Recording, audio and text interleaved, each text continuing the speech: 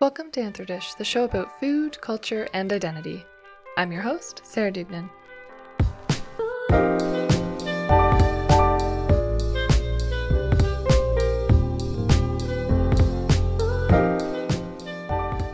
This week, we're exploring the role of design and food systems in anthropology with the super cool Dr. Adam Gamwell. Adam is a design anthropologist, or as he calls it, a design centered human, with international experience in ethnographic and contextual research, narrative media production, cultural analysis, social strategy, and education. He's one of the co founders of Missing Link Studios, which is a social impact agency that uses data driven media production to create compelling stories using podcasts, blogs, film, music, web interactions, and data journalism to do so. When he's not producing digital media, he is teaching participatory design research and entrepreneurship in Boston and is always looking for ways to meld food, design research, and media. This was one of those conversations that really let me learn something in the process as well, which I love.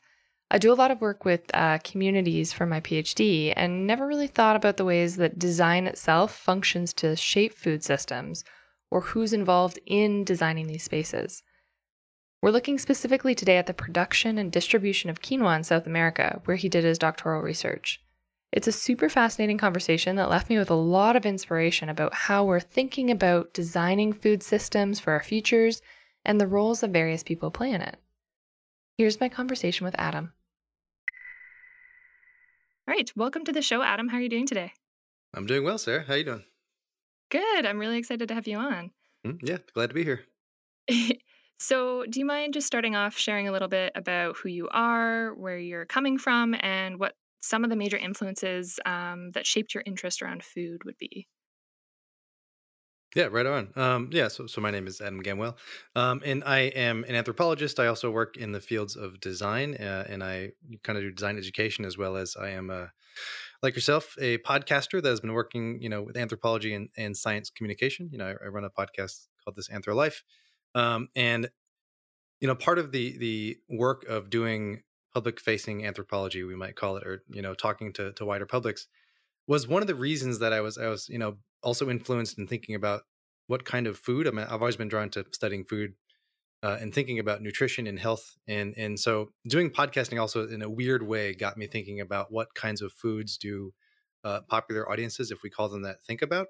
What are they interested in? And and quinoa was one of those. You know, we might call hipster foods here in, in the United yeah. States, probably Canada, you know, um, that, you know, is this craze of, oh, this, this crazy great protein and it's super healthy for you.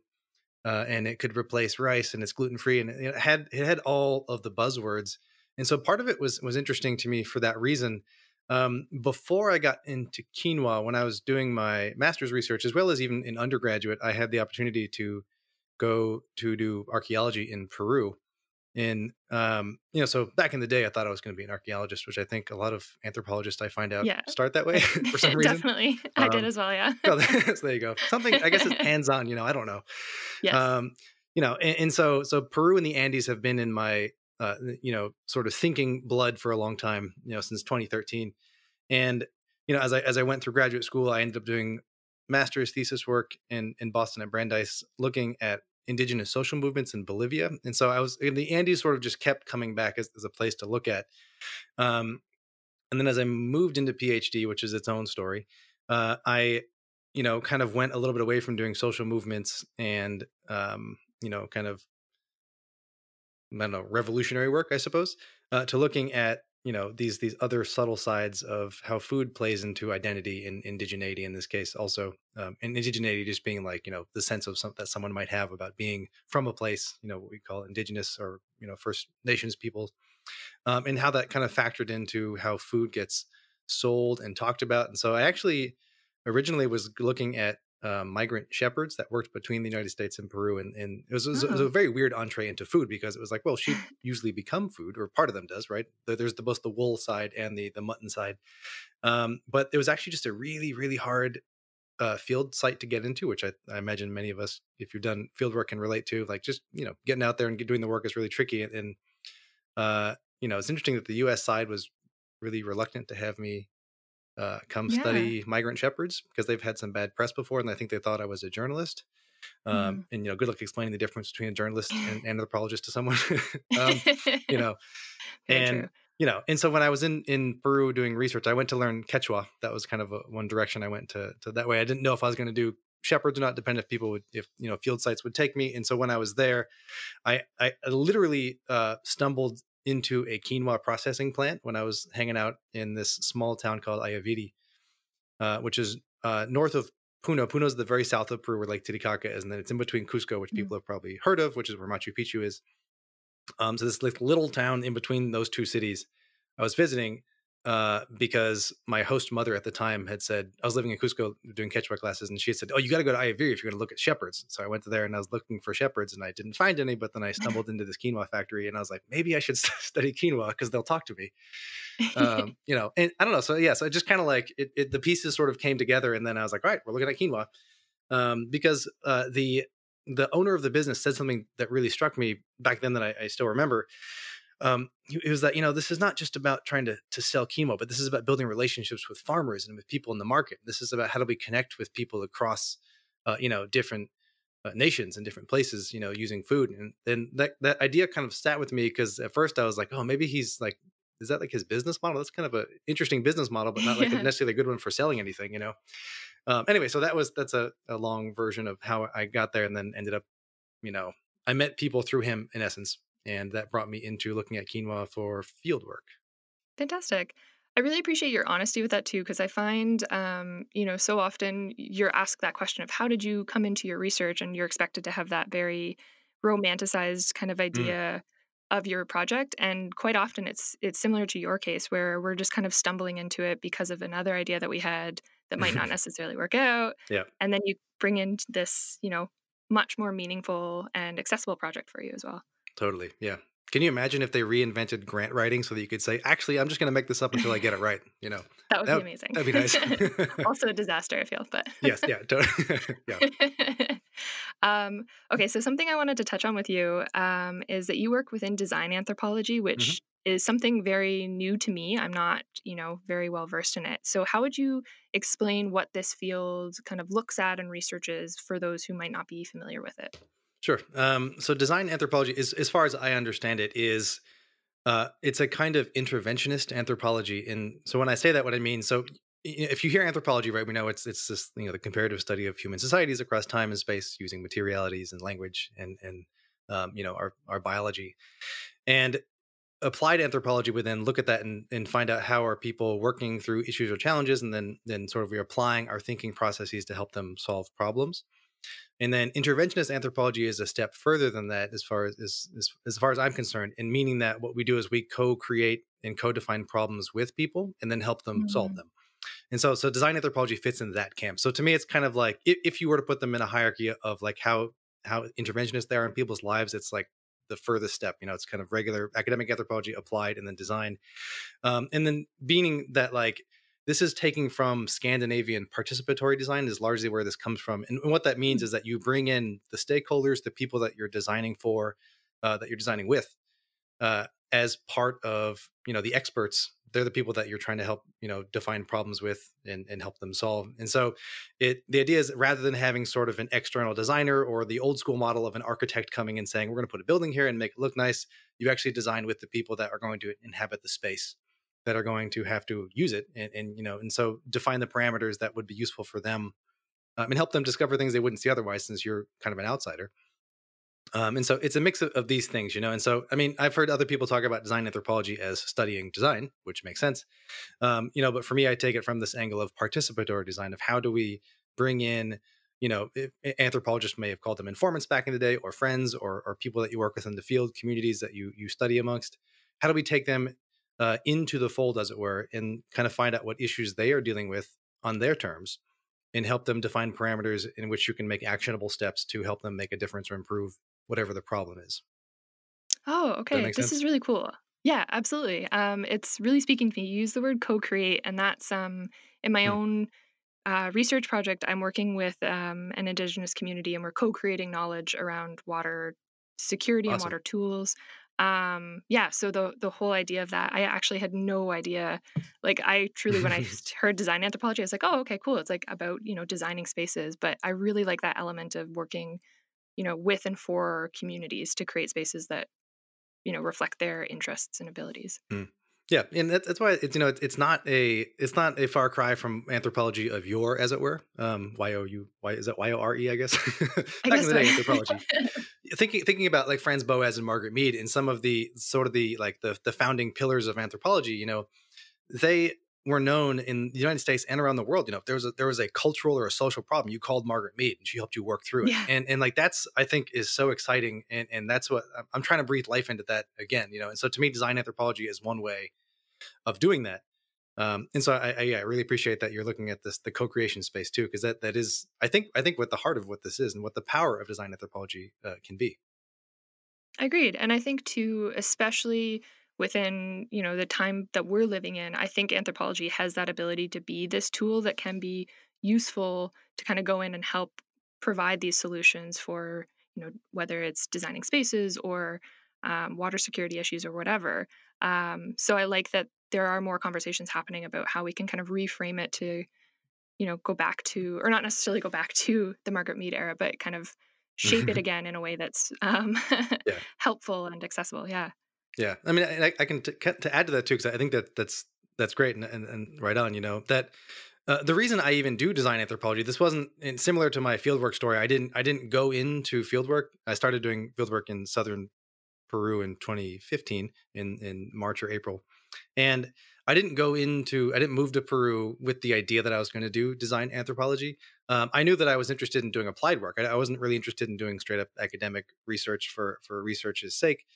Um, and so what I ended up doing was that I also by pure happenstance found an article one time that was written about quinoa and, and how the market was affecting farmers. And then on the bottom of the article, it said, you know, for more information and the site, the, the citations on this piece, like email this person. So I did because there was no citations for some reason. Um, and introduced myself and, and they were like, Hey, you know, we, we work, um, we're an international NGO doing, um, research on conservation and we're doing a project a pilot project with quinoa this year. Would you like to help out? And I was like, uh, yeah. Uh, you know, and, and so really just by this Yeah. happenstance thing. But then, so what that meant though, since working with an NGO, then they, then I started working with the Peruvian government. The, the NGO is called Bioversity International, um, and you know, and they're they're a conservation for development nonprofit. And you know, so I was working with them and the Peruvian government, the Ministry of the Environment, which is actually the newest branch, which is pretty cool that they have that branch. Mhm. Um, and I struggled at first to to you know find my place of like what does it mean that I'm essentially going to be doing interventionist work with farmers uh, and you know basically studying and both measuring and you know for an NGO and and you know with the government like how people make decisions about what kinds of quinoa to grow and then kind of like yourself I found this vocabulary uh, of design anthropology. People have been writing about it. There's there's some really great books we can we can put in the show notes later too that Yeah, kind of please. helped frame my thinking. And, then then then I realized like that I was like, oh, this is this is the way that, that I can think about how to be an interventionist, uh, you know, a practitioner in a way that doesn't feel fake, in a way that like also honors anthropology and honors and honors the tools that we have of like deep listening, um, in working with and alongside people, you know, and speaking alongside them rather than for them. Um, and, and stuff like that. So yeah, it was, it was actually this this kind of nice to me too. It was this serendipitous finding that helped shape, you know, what what would come next or what would end, end up coming out of the research. Yeah, I love that. I think that's um I think more often than not that tends to be from the discussions I've had on on this show in particular, it tends to be the case that things kind of happen serendipitously to turn into these projects. Um yeah. Totally. So um to kind of go back a little bit, I wanted to um think a little bit more about quinoa broadly. Mhm. Um and you had kind of mentioned how it um is sort of this hipster superfood sometimes or it's portrayed that way within media. So I'm curious um, what makes quinoa such a fascinating and important crop to explore through your design lens or design anthro lens? Yeah, that's a good. It's a good question. Yeah, so so quinoa is is a pretty famous food now, um, partially because of marketing, you know. And so, what made it Mm, so interesting as a food stuff to study is that you know the the world of quinoa in Peru is uh, at least certainly amongst you know indigenous quinoa farmers who I worked with in in Puno is almost entirely divorced from the you know this Whole Foods supermarket hipster model that we that we see here. And when you know, when I say hipster model, of course, it's just this idea what we might call uh, you know people that care for the environment on some level and that want to be environmentally conscious and, and would buy similar types of products such as fair trade coffee or um, you know other you know or single origin foods or something that you can say there's a picture of the farmer on the back. We got this chocolate from this farmer in ecuador you know? And so it has this kind of similar earth friendly small scale farm appeal but of course there's this this interesting disconnect between uh, you know how do you get from that small scale farm to the whole foods supermarket? And there's a whole chain and a whole world that that quinoa goes through but more importantly there's this question of scale you know? And so to me as a food um, i was really interested in this this question of uh, futures and how do people figure out what quinoa is good to grow and for what reasons? And mm. you know this is in relationship to you know climate change and a changing climate and like regardless of whether you have you know politicians in the us you know saying it's real or not it doesn't really matter. I mean uh, one of the things that struck me so deeply when i was hanging out with some with a farmer and a family of his he's he's he's probably like he was 65 70 um, and we were we were picking potatoes one day up on his farm on the mountain and he says, "Look, look down there, Adam. Um, you know, we're we're up high in the Andes. You know, we're it's two and a half miles up or four thousand meters." And he, you know, he points down the side of the mountain a little ways, and we're looking down. He's like, "Our farm used to be down there, um, but we had to, we've had to move up the, the the hill over the past thirty years because bugs that used to not be able to get up this high because of uh, because of temperature are now coming up the mountain, and so we have to we're moving away mm-hmm. from the bugs essentially. And we're going to run out of mountain soon, and that was such this moment of like, whoa, okay, like this is this is not some question of of whether people are, are, saying you know there is or isn't climate change, but these farmers have been moving and experiencing it and making sure that their crops and they their livelihood can survive. Um, so quinoa was entangled in this like you know these these world markets, you know these these global flows of you know people wanting to buy quinoa here and being healthy for the environment, healthy for themselves and stuff. But then at the same time, like it it's an it's the it points to and shows. It's, I was going to say it's an index. Not to trying not to use jargon, um, you know, but it indexes, yeah. um, you know, how uh, you know these farmers are understanding and and like literally physically, you know, concretely demonstrating how they've had to move their farms around mountains. Um, and on top of that, too, just as as a total like geek out thing, like there's so many beautiful kinds of quinoa. Like you know, we have the you see right. the red, the white, and the black here in in in you know northern uh, hemisphere markets, but uh, you know, it's there's there's multiple colors, there's multiple kinds of just the you know the white quinoa that you might buy is usually like two or three kinds that we'll get up here, but then there's so many kinds down there, and so part of it was like this interesting question of like these are heirloom or heritage varieties that like are niche adapted to these places in the Andes that like they're they're necessary crops to grow because they're the ones that are most likely going to be able to survive more erratic climate change uh, because mm-hmm. they've been so well adapted to these specific climates. But the challenge is those don't have market value. And so it is this question of how do farmers make this choice of what to grow, um, but also again, then what's good for the soil, what's what's good for for quinoa itself, right? So I don't know. There's a, there's a ton of stuff that was wrapped up in that. So quinoa is, you know, as as was it Lévi-Strauss would say that it's good to think. You know, it gives you something yeah. to think with, I guess. Yes, um, definitely. Yeah. So I'm curious um, when you're speaking with farmers and and you know kind of exploring their perspectives of what quinoa varieties they choose to grow and produce. Do you find that there's a lot of you know nuance or complexity in those decisions related to how it would affect like local farmers markets or local production versus the more international scale? Um, yeah, it's it's an interesting thought. So like the two things, like two two kinds of ways that I would approach that question with farmers, because oftentimes like they they spoke about the market as this thing, you know, that was almost personified, right? The market wants this, the market asks for that. Mm. Um, which I thought was quite fascinating. But the other, so what I did with my research too is that since I was working with, um, you know, NGOs and essentially agronomists or agricultural scientists, I worked with a lot of them too because they were the ones that were particularly interested in uh, working on conservation and having agrobiodiversity and biodiversity be a huge part of people's decision making processes. And so the cool thing is a lot of these agricultural scientists themselves were also farmers. They certainly grew up on farms and like and they still spent time and most of them still had farms that they worked on too. Um, and so there was this interesting mix of like these scientist, you know, agronomist folks. There was these other farmers that were kind of in league with the scientists uh, and that they would you know do knowledge shares and be talking about these like really kind of awesome varieties and so part of this one of the fun parts about research was going to these biodiversity fairs that that farmers would put on and they'd have people there that would you know just show 42 different kinds of quinoa, you know, and it was really great to see this. Um, you know, just to say like they're like, hey man, come on, because the uh, over time I was known as I was, you know, I'm a six foot tall gringo, so I was known as the white guy walking around the, you know, looking at quinoa. Very um, noticeable. You know, so my reputation preceded me, uh, and so sometimes the people say, oh yeah, oh you're here, come here, let me, let me show you this quinoa and stuff, and that was actually really quite cool. So there was certain there were certain farmers that were like certain like clued in to to this, and they were working specifically on these questions of conservation and and agrobiodiversity flourishing um, other farmers not. And so it's interesting, like, you know, just the point to say, like, there's not a homogenous group, obviously, right, uh, mm-hmm. of a mm-hmm. community. Um, but yeah, but it, it, was really interesting to see the differences, you know, and and kind of like this is one of the things that I write about in my dissertation, um, and but also just to, to worth thinking about is this question of like when it comes to knowledge, you know, who owns this knowledge about biodiversity? You know, is is the farmers that have it? Is it scientists? You know, who who's like naming the quinoa? Who gets to like claim the correctness of saying, oh, this quinoa is is this name or this quinoa is that name? Um, I can tell some stories about that later if you want, but yeah, it, it yeah. was an interesting question. So I'm curious, yeah, like um, kind of jumping off of that, um, do you find that there's kind of been power dynamics about who owns that sort of knowledge around quinoa? Um, and has that shifted at all, or is that kind of a constant?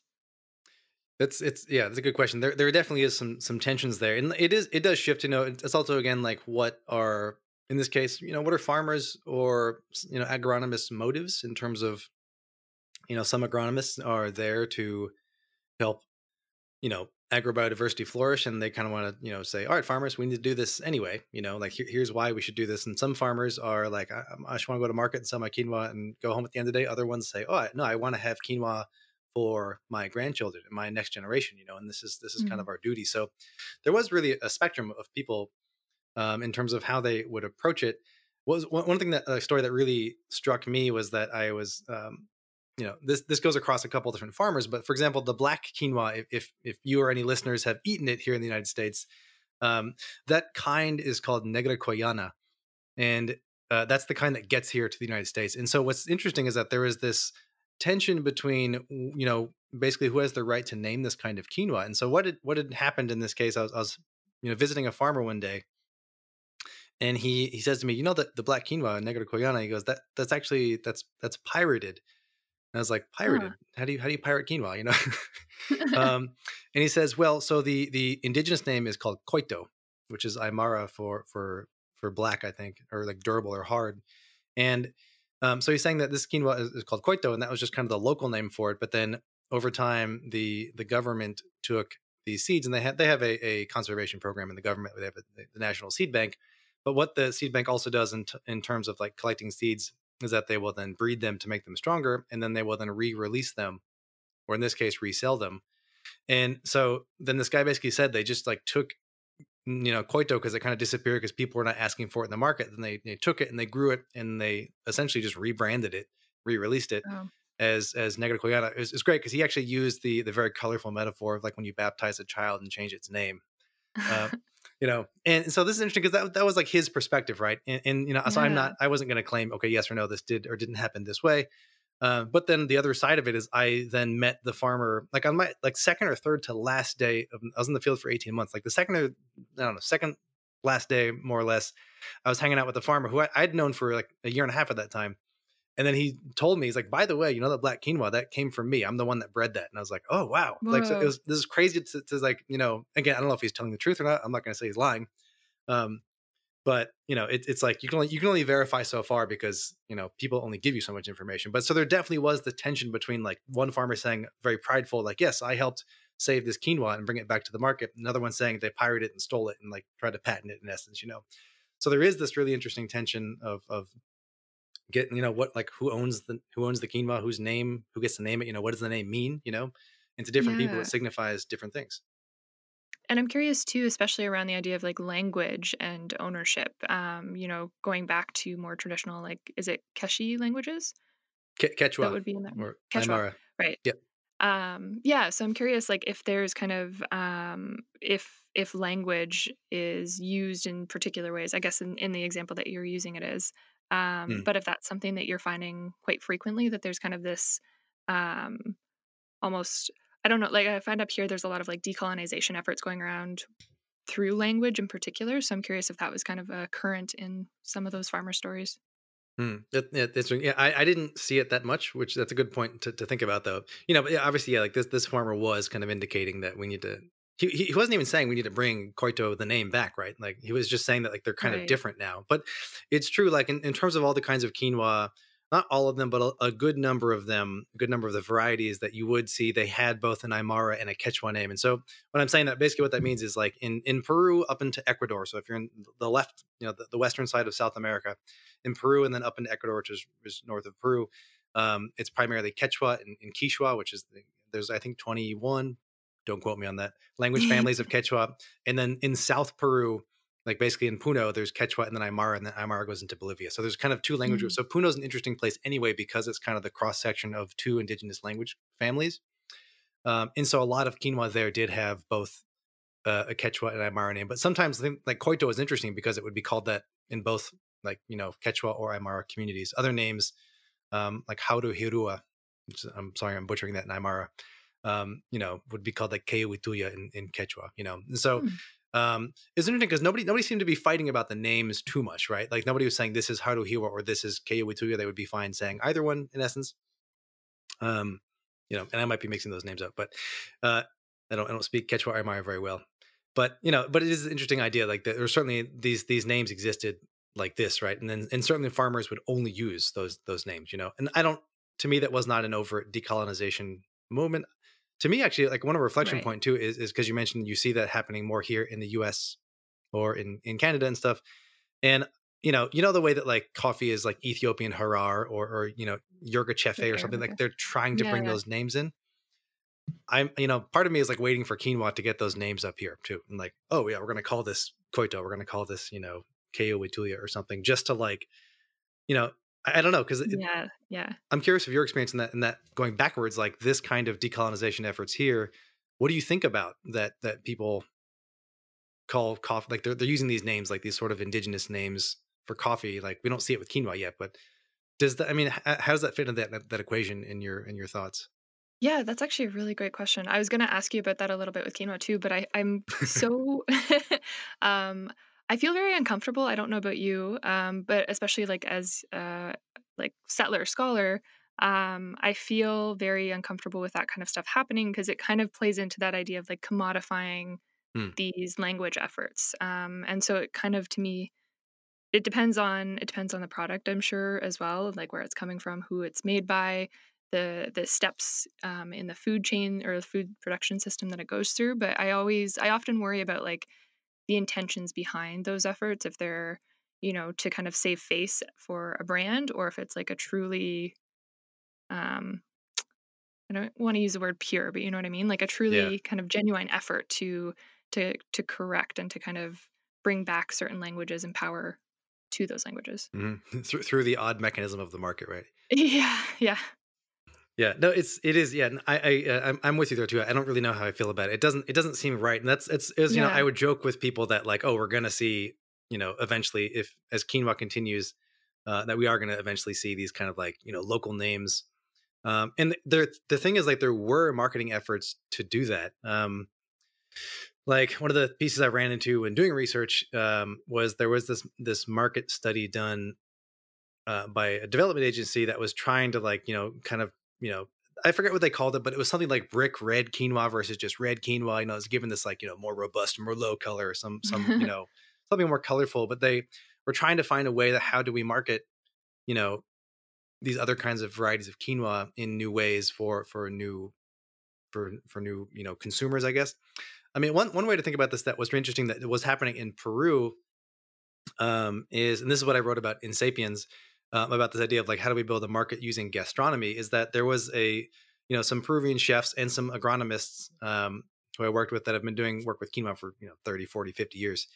And uh, so what this this this agronomist scientist is doing with with a chef is that they are kind of building new recipes. They're taking kind of doing this like Andean fusion. This comes out of the, there's this really big movement in sort of Novo Andino cuisine, which is like new Andean, you know, kind of like drawing from the the sexy idea of like, you know, really rich French food and really rich, you know, gastronomic traditions. That right. saying Peru has this too, and this is a way that Peru kind of sells itself to the world. but what they're they're doing is they're kind of flipping that a little bit on his head by saying when tourists come to Puno, why don't we you know link up? And so the chef works at one of the the top hotels, the Hotel Libertador, which is like one of the you know the the best nicest hotels, uh, nice tourist hotels in Puno, and so you know he's working with with this agronomist to come up with new recipes, new fusion ideas, but specifically using and celebrating sort of indigenous or local kinds of quinoa that are not sold in wider markets as a way to build markets for them but doing mm. that you know their hope is in a way of doing it that a it's, it's like attractive to to to you know tourists but then also uh, you know that helps support local production and like these local kinds of quinoa that otherwise may get pushed out of the market. So that's a really interesting effort, and I really love the one of the things that that um, the agronomist name is Elipio Cañaba. What he does is he he, he talked about this as um, conquering the stomachs of tourists. So I was like, oh, that's interesting uh-huh. little little conquistador method, you know, but using yeah. using the stomach, you know. But that's a really interesting other way of like, you yeah. know, they're they're intentionally using market commodification um, and gastronomy and like these movements, but as a way to help biodiversity. So I don't, and like to me, you know, this may be my own naivete, but that seems more pure, as it were, like the wrong word to use, you know, but the, like a more yeah. genuine like try, you know, to like sorry that I put that word. In. No, it's all good, you know, but like, but it's, it's a more genuine try to to get uh, people to care and the market to like respond to and understand and to know, you know, that there's there's multiple kinds of quinoa and that there's multiple ways of producing it that could be good for local you know uh, local local markets local farms and stuff Yeah. Okay, so my next question kind of blends, jumping off of that, it kind of blends that idea of design that you've been talking about and biodiversity. Um, so, in using those kind of um, less popularized quinoa varieties, I'm curious how, um, you know, how social identities around quinoa, um, because I know you spoke a little bit in your dissertation about how um, how there are a lot of really interesting and, and kind of complex social identities that quinoa holds in in local spheres versus global spheres. So I'm curious how using those less popularized quinoa varieties might kind of help to um, showcase those identities or kind of shift them in certain ways. Did you find that at all? Yeah, definitely. That's a, that's a great question. Um, you're right. So one of the one of the, the tensions I hadn't mentioned so far is that you know, for for a lot of farmers and a lot of um, you know indigenous people in the agricultural sphere in, in, southern Peru, and I mean, I think this is also true as you get into other parts of of agricultural areas in Peru. Is that you know there is this idea that you know one wants to be I'm putting air quotes modern and wants to be participating in the quote modern world, um, which means the global economy, and so you you you want to listen to and respond to the market, and that both involves production as well as consumption, right? That like in order to participate in the in the contemporary world, you know, it's you need to buy a TV, you want to have a radio, and you want to have uh, you know, white flour starchy foods is one of the common food things. Um, you know, but then also production of that is like, oh, well, the market wants this kind of quinoa, this kind of potato, so we'll produce those so we can sell them. Um, and by it itself, like you know, we have to say that that is people's choices, and I'm not going to you know evaluate saying you making a good or bad choice on your in your life because that's not my place to do so. But um, there is, of course, that raises anthropological antennae to be like, wait a minute, you know, you don't don't choose the Western diet because it's shitty. You know, sorry, um, right? it's not good. you can curse, you can bleep me out if you need. It's fine, but, don't worry. um, you know, but but there's there's this notion that like it catches our ears in a, in a different way, and then but the flip side of this in Peru is that like if you are growing these biodiverse kinds of quinoa or you're like choosing or are, are, unable to participate in in consuming you know white flour foods and, and and you know dressing in a you know more quote modern way versus indigenous dress you know or more like urban versus rural um that these these are like you know uh categories that people then place on people saying you know you're you're less you're you're you know you're more backwards you're more you know pick pick your racist term and you can apply it there. And and so quinoa like fit into this equation too because it was like growing indigenous kinds of quinoa these local varieties you know on one level didn't have this this didn't have the prestige value of like i'm participating in the global market right it's more like oh i can't right. afford to get that kind of quinoa so i'm going to grow this other stuff um, however what's been really interesting is with efforts like this gastronomy movement of, of you know sort of reinventing quinoa or even the idea of conservation as this uh, you know, essentially like superhero move that you are protecting the future and you're making decisions that are actively fighting climate change. um, it has changed the prestige of this local these local varieties, right? It doesn't it doesn't magically change everywhere, and it certainly changes, ironically, with people that are still talking in global environments. You know, the more rural you are, you may not, um, you know, either have access to this kind of information or these kinds of quinoas, or you know. But the good thing is that you know I, I, I saw that a lot of agronomists are really really working hard to get as far out you know off the roads as they can to visit different communities um, and see who's interested. You know, so I mean, I ended up visiting probably around 50 communities, which is a lot, like you know, over over mm-hmm. a year.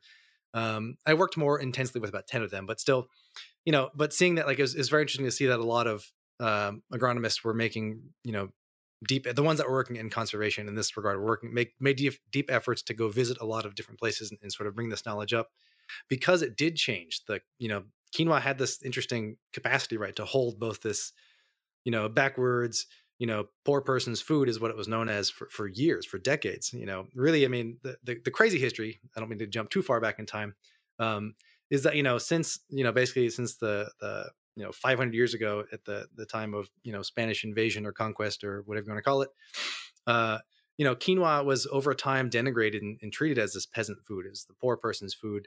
Um, and it was, you know, replaced with quote prestige crops like wheat and barley and, and, oats and stuff that were brought over from from Europe.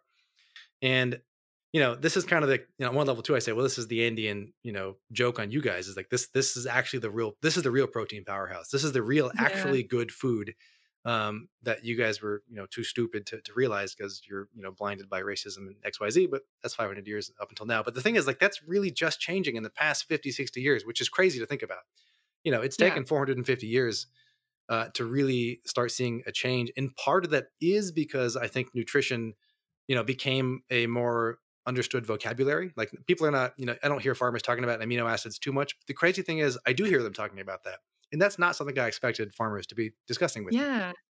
You know, and so that Definitely. says some knowledge is getting getting through, and like, but that's then showing that there is a prestige with this food is healthy. You know, one one of the other pieces, real quick, that I saw with this is that a lot of farmers and agronomists too in, in Puno were talking about that like they're like 30 years ago we didn't have diabetes. And I was like, that's interesting. Mm-hmm. And they, they also said we didn't have cancer. And I'm like, that's even more interesting. I, you know, but um, you know, at least colloquially, you know, they didn't. And um, and meaning that as people's diets changed, as things became more globalized and people were eating more pastas and cookies and sugar and, and white flour and refined foods, that they've seen a spike in diabetes and cancer. And and so a lot of farmers did then talk about our foods, our foods being quinoa and potatoes and, and the native varieties of potatoes too.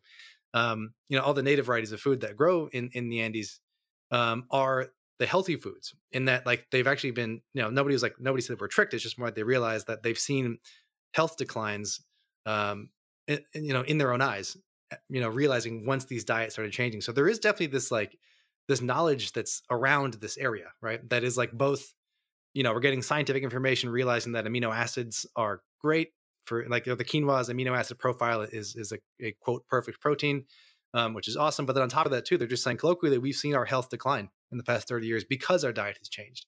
And so that the you know it's really interesting to see that that there's I don't know it's it's operating on so many levels.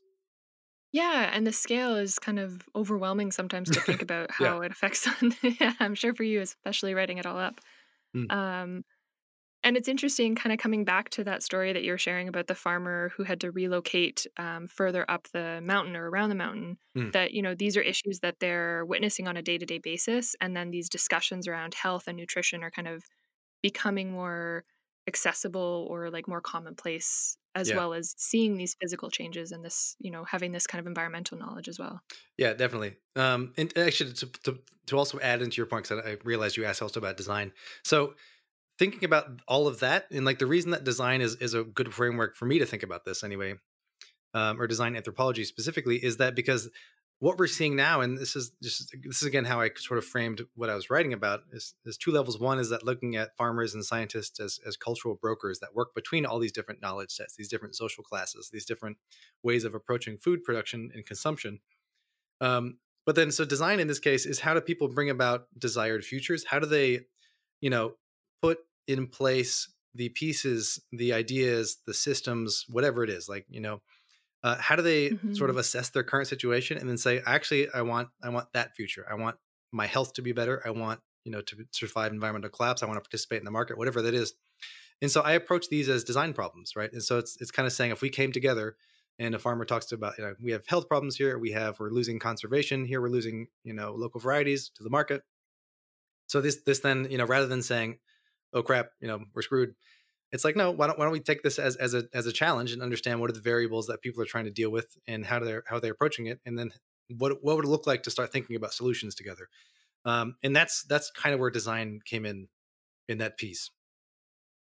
Right. So, um, from from your experiences and work there, and kind of like having that perspective, um, what sorts of solutions do you think would be um, like positive and also like realistic solutions to help within the ideas of like agrobiodiversity and and sustainable food food futures? I always trip on that. It is really hard to say food futures. Yeah.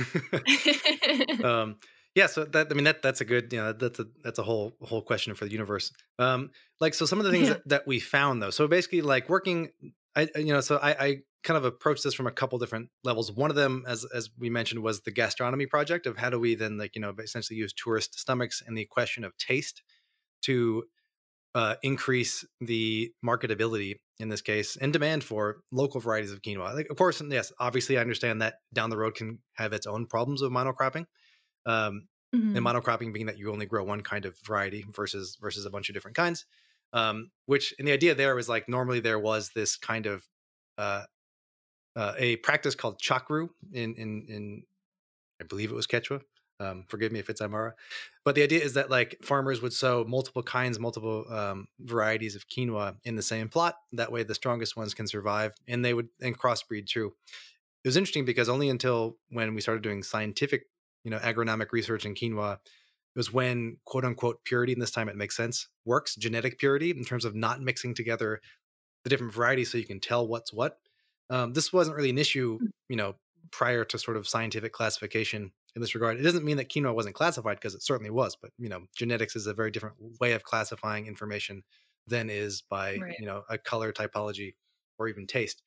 Um, so one one solution we're seeing is this kind of gastronomy question of like we could still do chacru, and they they even like talked about using chacru and doing a, a doing a chacru garden at the hotel so people could see this is how you mix quinoa together. This is why it makes better quinoa. It's like it was cool, like this mix of both demonstrating and doing it. So that's that's one yeah. model I saw of like you know putting farm like literally farm to table. It's like oh the farm is right there out the out the window. um, you know, on the on the with with biodiversity and, in the Peruvian government, like this is a, actually a paper I'm working on with them now. We did we did this series of experiments that are, I mean, it's out of the field of behavioral economics, which was new to me, and you know, I'm still learning about this field. But in this case, we did a series of experimental games to understand how farmers made decisions of what kind of quinoa they would want to grow based on incentives. And so this is something that Bioversity has been doing for for different groups around the world. So this is not, you know, this was not like the first time they, would run this sort of experiment. Um, and but it was the first time I'd done it, so it was interesting for me. But what what we're looking at and finding out was was does uh, you know the closeness of family members and friends as a social network in a village in a community uh, make a difference of how likely people are to grow quinoa. Essentially, like how risk averse are you? Like, are you willing to grow quinoa that doesn't mm-hmm. necessarily have a huge market value? Um, you know, if you have people near you that will support you. And then on top of that, if you got paid to grow quinoa that was for conservation versus market, like for example, if the government paid you for for indigenous varieties versus market varieties, um, you know, what would it take to do that? And so that was really interesting too, just to kind of get this sense of. And that was a very different way of doing experiments for an anthropologist, right? Because normally we are doing participant yeah. observation, asking questions, uh, and so it was a like an awesome learning experience for me. Uh, and so you know, and that was this interesting idea of, of, finding out like, is there that much of a difference between people's decision making processes using these experiments uh, to tell, you know, if they would or would not grow, you know, market varieties or or uh, local varieties based on you know getting paid to do it in essence. Um, and so that's like that's not the answer to the question, but that's sort of like this. This is ways that people are are, are trying to figure out um, what would it take to get people to want to, you know, to choose on a larger scale to grow local varieties of quinoa, like for the idea of agrobiodiversity, right? Um, and I think mm-hmm. just like maybe a third, like large piece that's important is emphasizing to the people that are growing the quinoa, primarily farmers, that like this is there is a prestige, there is a like both a, a social power, but as well as like a, a, you know a environmental power of uh, you know adapting to environmental change versus market change you know and like realizing that um you know you're not backwards by any means like you're almost you know what i would say is you flip it you're more forward thinking because you are adapting varieties of quinoa you're adapting your your farms to these more erratic cycles of environment which is not good also not your fault but by doing this like you are making more robust crops that are more locally adapted more niche adapted that are more likely to have you be able to survive, right? That have the crop be able to survive. Um, and so part of it is just, I mean, I don't know, campaigns that are that are just saying like this is this is good, like this is this is a good way. Like monocropping is not good. Um, it doesn't really help anybody except the question of scale. Uh, and um, you know, I know feeding a lot of people is important. It's a, a different question, but um, you know, when you're looking at a local scale of farming, it's like you know, sort of helping this message be out there that like this is actually you know quite a good and and and like to me it's it's a point of pride like you can you can demonstrate and celebrate your knowledge that you like you know the land you know these crops um, and they're part of your family you know and that's that's i think really something powerful that a lot of farmers that worked in biodiversity were really quite adamant about like they're they're they're very proud to show uh, the super amount of varieties that they, they grew and they knew about and they could like rattle the names off and where they came from um, and that was really powerful so i don't know that's, that's three super broad maybe we can we can survive if we do some of these answers. No, I think, I, I mean, yeah, I think again, very honest answers because those are, you know, these big, big questions that have so many different stakeholders invested in, you know, in providing and, and working towards these solutions. So I like that you kind of have all these different lenses and spheres to look at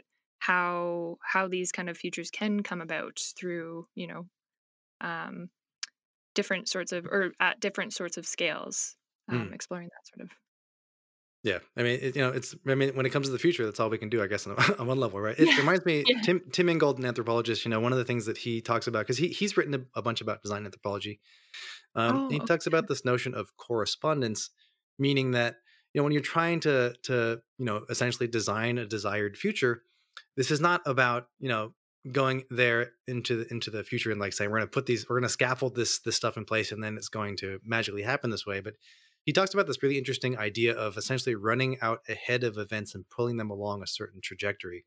Um, which mm. is, I think, a really pretty metaphor um, for mm. thinking about this kind of work. Right, you do have to think of these large scales, you know, and these these like fairly big spheres of, of, of interaction that that things go through, so that you know you can kind of run ahead and say, okay, if we want to head off at the pass, you know, biodiversity loss, like let's approach it from these I don't know some of these like the bigger realms, right? And see what pieces we can then run ahead of them and, and, and pull them out in the direction that we mm. want them to go. So, um, I guess just to kind of as we start to close down the interview, I'm curious because you know this is a lot of what you're speaking to was your doctoral research and your dissertation. So, how have you kind of, or where are you now in terms of you know your, um, you're now a doctor um, what kind of roles have you taken on and how have you used design anthropology to kind of explore different sorts of projects and experiences mm, yeah that's a good question this this is this is where my myself feels a little schizophrenic um, uh-huh. you know because i uh, not maybe not that i didn't during field work but you know um, but so so since since i came back from the field in 2016 um, in, the, in October. And so I've been back for, you know, not quite three years now. But since that time, you know, I finished writing up dissertation and I finished that in 2018. So it still took two years to write. a long process. Um, yes, congrats. thank you, thank you. Um, you know, but within that time frame, I I was really really d- drawn to the design side. Like I have, I I I can teach anthropology 101. I can teach you specialist classes. Like I had that down pat um, you know, as as most graduate school students do get, you know, towards the end, whether you're doing a teaching assistantship or you end up teaching classes or stuff. I I I I both taught anthropology um, for a few years in between masters and PhD, as well as then um, during PhD for a little while, and then when I came back from from field work, I was really interested in the design side, right? You know, so I found this design anthro, and there's there's no, uh, I mean, I'm not going to go get a master's in design anthropology when I'm getting a PhD in anthropology because mm-hmm. it's just more school and that's crazy. But um, but so I wanted to I wanted to get the design side down a little bit more, and so I joined uh, like, like, you do professional association the AIGA, which is the American Institute for Graphical Arts, uh, which is just now a design you know professional agency. It's it's like the American Anthropological Association for designers. Um, and so you know I, I, I got to know design communities a little bit more here in in the U.S. Um, in Boston where I live, and you know so I joined them and helped doing programming with them just to you know see you and they were really quite receptive and quite excited about the idea of a design anthropologist because it was like this new interesting weird you know what is that? Uh yeah. you know and and so they were you know quite welcoming to me which is nice and so then through that i've actually ended up um teaching a bunch of random classes you know doing some adjunct teaching. Um, you know, so I teach design research and design thinking, and and I do a senior seminar class called Design Discourse, which is essentially what I call ninja anthropology, which is teaching designers uh, about their own perspective and how their choices, you know, have cultural impact and how to think culturally sensitively. Um, nice. You know, which I really love because to me, like that's that's to me where the real work that we need to be doing as anthropologists is like I can go teach Anth 101, sure, but ton of everybody does that, right? And so um, we need anthropologists out in the trenches, as it were, in other things, you know. So I, I, you know, I teach th- those classes. I've been teaching those for about three years now, and then I also hopped around and uh, I last semester in uh, was it fall 2018, I taught uh, at a college in a master's program, which was awesome to teach master's students in uh, civic media design. And we did oh. we did a class in participatory design methods, which I loved. Um, you know, a working with master students because they were they want to be there. um, yes, you know, and the, willing to put the work in. But the class was framed around working with community partners to help them, you know, co-design uh, solutions to problems that we figured out together. And like that, like really, I was like, this is this is the work. This is it, you know. Uh, because anthropology just gets to be done. I don't have to walk around thinking, oh man, how do we make anthropology, you know, how do, how do we like do the work? How do we get it applied? You know, we just talk to each other and and you know don't ever do anything. And I'm like, no, I'm I'm doing the work. It's it's like it was interesting. The conversation changed um, not between me and other anthropologists, but like because they would still ask these questions of how do we get anthropology out in the public? I'm like, just go do it. Just uh, go do it. Yeah. You know, like stop stop talking about it. You know, and, and like because that's that's I've definitely you know I, I'm now very tired of that conversation of like how do we get anthropology mm-hmm. to be public? It's like just go do it. Like stop asking the question. You know. Um, and for me, that's been teaching design in, in other schools. Also, as we said before, you know, I've been doing this Anthro life for six years, which is crazy. Yeah, um, I mean, like in like yeah, really in, like in podcast years, I think that means I'm elderly. I don't, I don't know. Um, yeah. You know, but uh, I, I, you know, so last year, I, you know, got to do. I had this great, great honor. I was asked by the the AAA to do a, a podcast series with them in the Smithsonian, um, at the Smithsonian Folklife Festival last year. So I got, I, you know, this really awesome, awesome, uh, you know, activity thing we got to do. But so basically, I got to go to DC and just put my anthro hat back on and like recorded nine hours of audio with people at the at the folklife festival and then we just ended up cutting it into a uh, you know five episode miniseries it was it was the most work i've ever done on audio stuff but it was also one of the most rewarding projects i've ever done um, and so and that was cool it was premised entirely on cultural heritage and how do people like make lives in, in worlds defined by migration so it really took a mm-hmm. lot of mm-hmm. what i did in fieldwork in terms of like understanding how people you know do global as it were and like do do local at the same time. And you know this was just a series of, of you know kind of interviews with people and, and framed around you know episodes of music and art and and um and clothing and weaving and and language and identity and stuff. And you know that this kind of work too i just love i've really really kind of dug my feet into doing uh, audio production for good as it were. And so i founded also missing link studios which is now houses this anthro life. I realized that you know when I did the Smithsonian project, I was like, this is this is this anthro life because I'm that, but at the same time, this is bigger than just this is you know not just TAL. And so mm-hmm. I realized mm-hmm. it was time to make kind of a bigger house because I also the thing is I want to now help other people make audio, uh, you know, using anthropological thinking and, and skill sets and do and do, you know, audio and media production for good because I love that side of it because that's something very concrete that I'm I've gotten good at that I love doing. Um, and so you know, so missing link has now become this this my my little hub uh, that I'm I'm trying to grow. And that so if, if, people are listening and they want any audio production or work, like hit me up.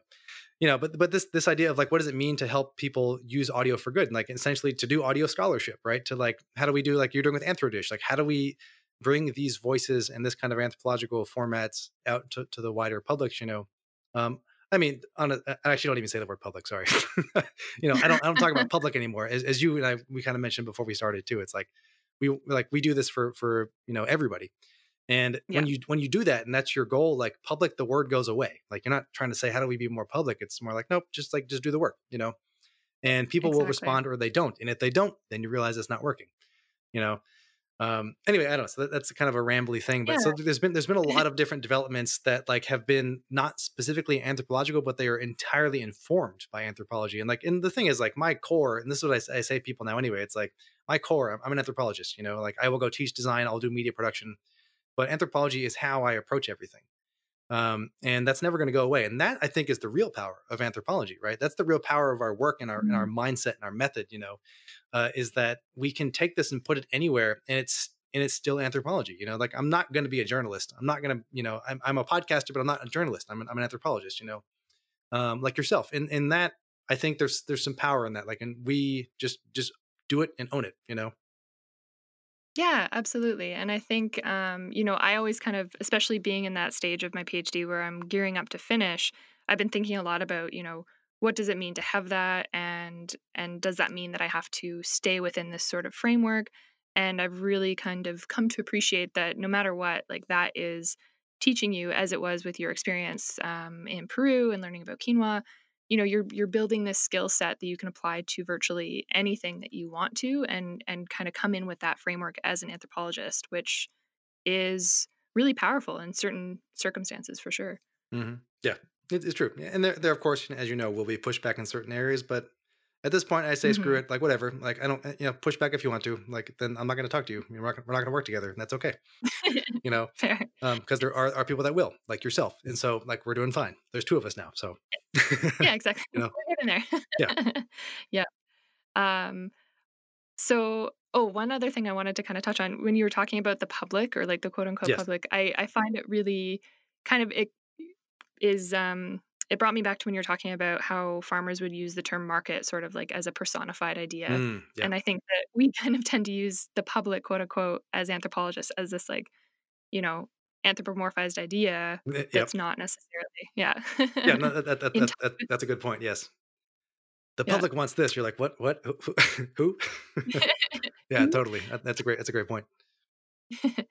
um, all right. So, Adam, where can people find um, your work online if they want to check out some of your writing, your podcast, your audio, all the kind of cool stuff that you've got going on? Uh, yeah. So, uh, my personal website is gamwell.design. My last name, G A M W E L L um, dot design and that's that's where it's a link to like basically everything else that I do. And, you know, it's a bit about me and that stuff. So it's got links to writing and podcast work. Um, Missing Link Studios, you can check out missinglink.studio. I have very difficult to remember URLs. No dot no dot coms if I can help it. And the, like this anthrolife.com is is you know been the podcast forever. That's linked on on both those websites also. Um, awesome. That's the main place. Twitter Gamwell is is my name. You can find me on there. Um, yeah, I mean, so Twitter is my main thing. I, I otherwise don't. I, I basically can't stand Facebook. Um, but Fair. you have to find me there. We can, but yeah, so you know, basically Gamwell Gamwell.designer, Studio is, is where you can find me these days. But yeah, I'm always always up for conversations with people to to talk more media stuff, more design work, more anthropology. Um, yeah, th- those are those are my digital homes. Or if I'm in Boston, you can come find me here too. That's a good place to be. Perfect. Sounds good. Well, thank you so much, Adam, for coming on and sharing all your knowledge and experience. This was awesome getting to talk to you. Yeah, been been a huge pleasure. Thanks, and, and um, thanks for letting me talk that was Dr. Adam Gamwell, design anthropologist. I've included the links to his websites and Twitter if you'd like to learn more about him in our show notes and on my website. And if you're in the market for some new summer podcasts around anthropology, be sure to check out his podcast, This Anthro Life, which I've also included on my website and show notes below. Let us know what you think about the episode on social media. You can find us at anthrodish.com or on Instagram, Twitter, or Facebook at AnthroDish Podcast. And if you're loving AnthroDish, subscribe and leave us a rating and review on iTunes. It really means the world to us and helps support us in a small but powerful way. Music and sound editing for the episode was done by Lucas Wojcicki. AnthroDish is produced in partnership with the American Anthropological Association. Thank you so much for tuning in as always, and we'll see you next time.